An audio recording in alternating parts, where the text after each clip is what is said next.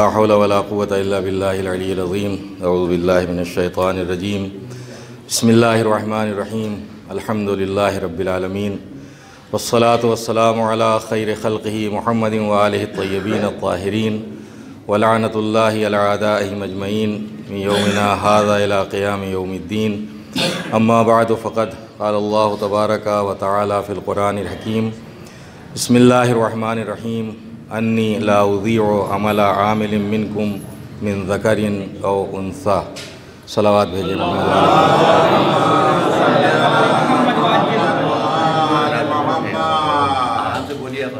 جی جی۔ نہیں نہیں وہ قبل زوال ختم بھی ہونا ہے مجلس۔ صلوات بھیجے محمد۔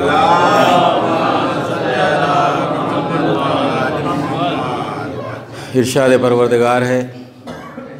کہ بے شک میں کسی بھی عمل کرنے والے کے عمل کو ضائع اور برباد نہیں کرتا، چاہے وہ عمل کرنے والا مرد ہو یا عمل کرنے والی عورت ہو۔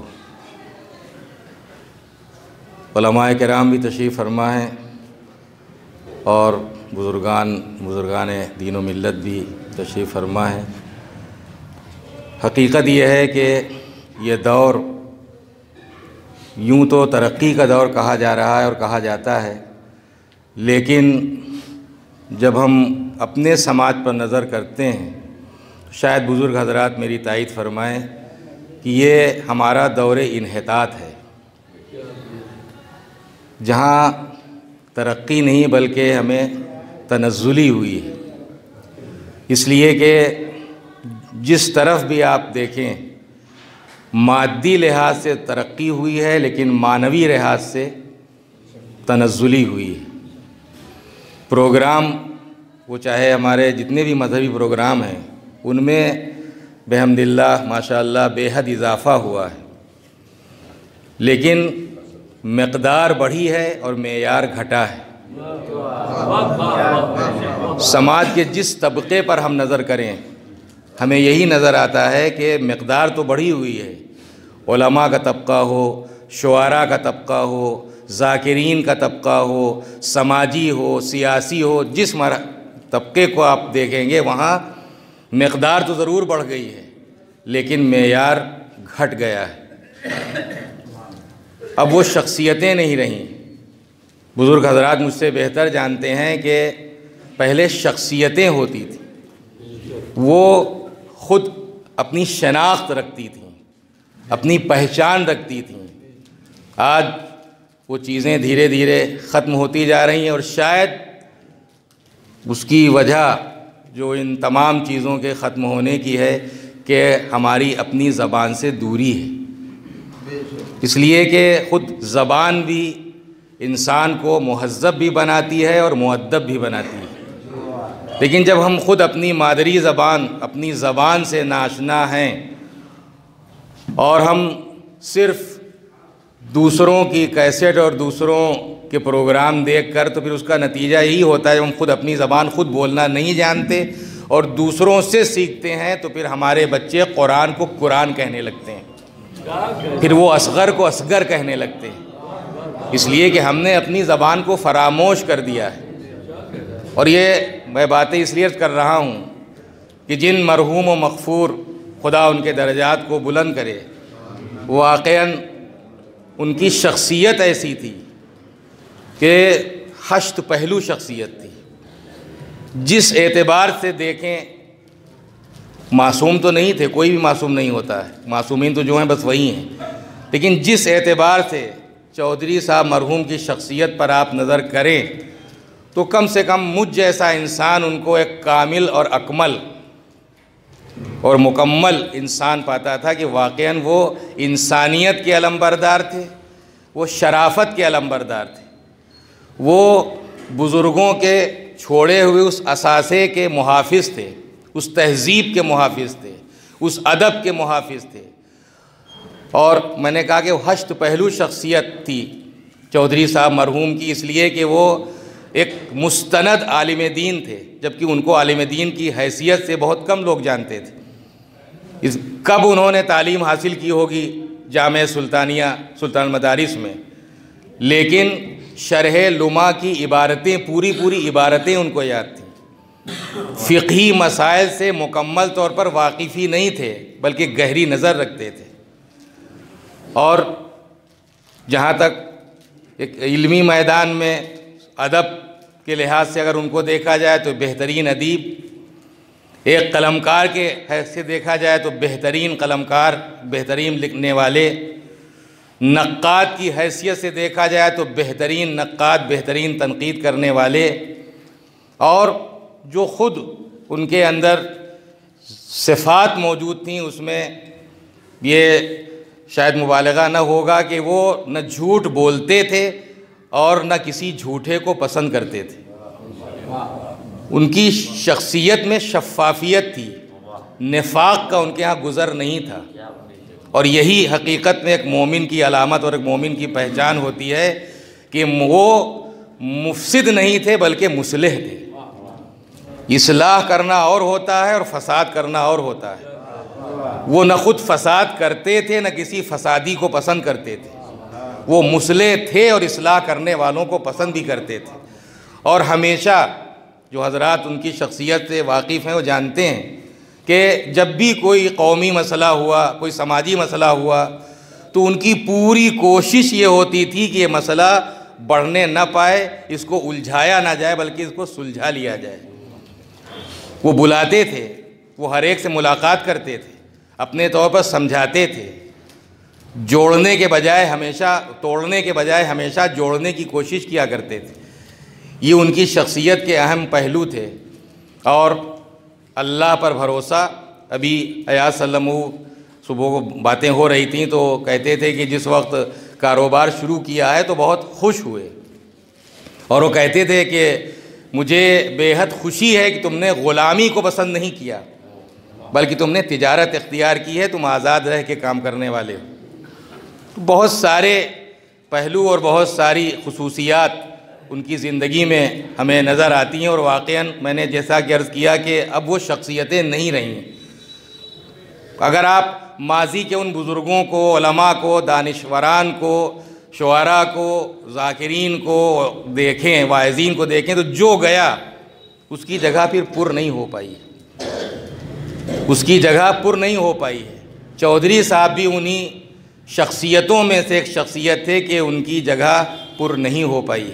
اب ایسے لوگ، یہ میں تو نہیں کہتا کہ نہیں ہیں، اللہ ماشاء اللہ بہرحال رہتا ہے اور رہے گا، لیکن اب ایسی شخصیتوں کو اگر آپ تلاش کریں تو بہت مشکل سے ایسی شخصیتیں ملیں گی۔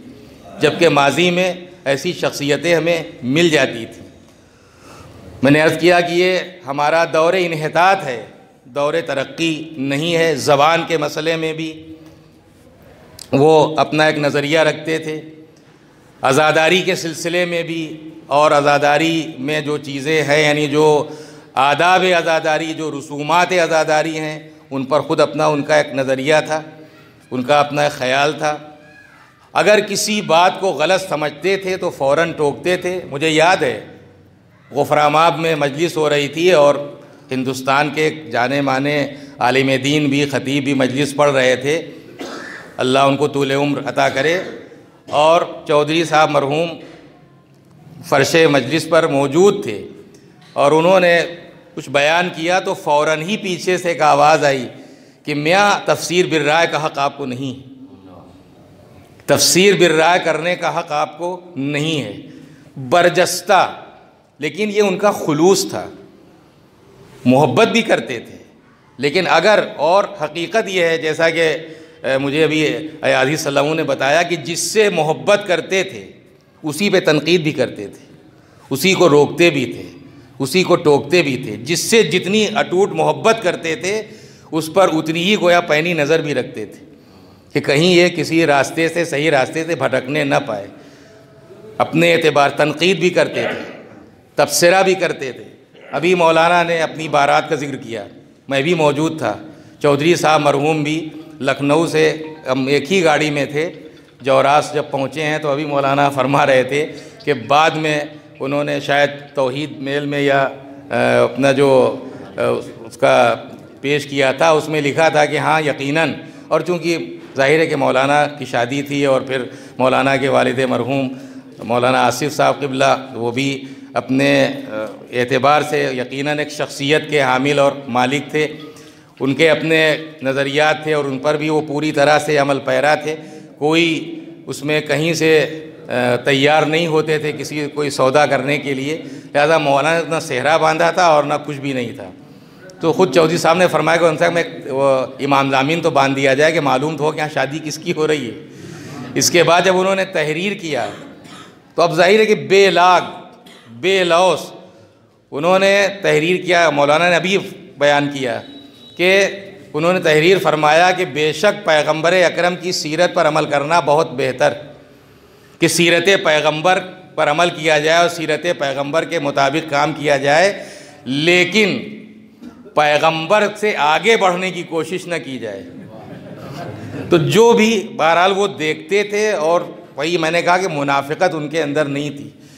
وہ حقانیت کے علم بردار تھے، سچائی کے علم بردار تھے دین کے علم بردار تھے، دین و ملت کا درد رکھنے والے ایک دردمند انسان تھے۔ سماجی اعتبار سے یا مذہبی اعتبار جو ٹکراؤ ہوتا تھا، وہ بے چین ہوتے تھے، پریشان رہتے تھے۔ اس مسئلے کو ہر جگہ حتی الامکان سلجھانے کی کوشش کیا کرتے تھے۔ خدا وند عالم ان کے درجات کو بلند کرے اور یقیناً ان تمام شخصیتوں میں جو ہماری لائق تاسی ہیں، ان شخصیتوں میں ایک اہم شخصیت چودھری صاحب مرحوم کی بھی تھی۔ خدا وند عالم، انہیں کروٹ کروٹ جنت نصیب کرے، انہیں جوار رحمت میں جگہ عنایت فرمائے۔ اور جو خلوص اور جو محبت اور جو قوم و ملت اور مذہب کے لیے ایک درد ان کے دل میں تھا، ہم سب کو توفیق دے کہ ہم بھی کم سے کم قوم و ملت کی اسی اعتبار سے خدمت کر سکیں۔ وہی جذبہ ہمارے دل میں موجزن ہو اور شخصیتوں کو پہچاننے کی بھی پروردگار ہمیں صلاحیت عطا فرمائے۔ اس لیے کہ شخصیتوں کو پہچاننا بھی ایک مشکل یہ بھی ہو گئی ہے کہ اس دور میں شخصیتیں گم ہیں۔ ایسا نہیں کہ نہیں ہیں، لیکن ہم چونکہ پہچاننے کی صلاحیت ہمارے اندر نہیں ہے لہٰذا ان شخصیتوں کو پہچاننے کی صلاحیت کی توفیق بھی عطا فرمائے کہ ہم صحیح عالم دین کو پہچان سکیں۔ ہم ایک صحیح قوم و ملت کے مخلص خادم کو پہچان سکیں۔ چودھری صاحب ہر اعتبار سے دین و ملت کے خادم تھے۔ سچائی ان کے اندر کوٹ کوٹ کے بھری ہوئی تھی۔ نفاق تک دور دور تک کہیں گزر نہیں تھا۔ جسے اپنا لیا، اسے اپنا لیا اور جسے چھوڑ دیا، بس چھوڑ دیا۔ خامخواہ کی باتوں اور بحثوں میں الجھتے نہیں تھے، لیکن جہاں سمجھتے تھے، موقع شناس تھے، موقع کے اعتبار سے، محل کے اعتبار سے گفتگو کرتے تھے۔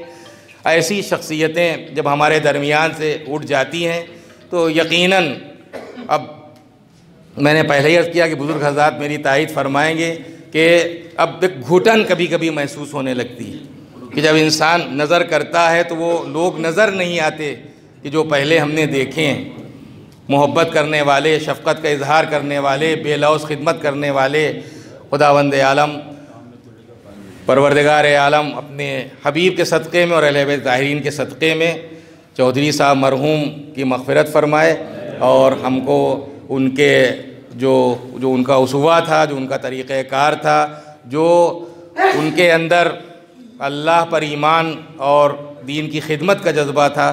اسی جذبے کے تحت ہمیں بھی کام کرنے کی توفیق عطا فرمائے۔ وآخر دعوانا الحمد للہ رب العالمین۔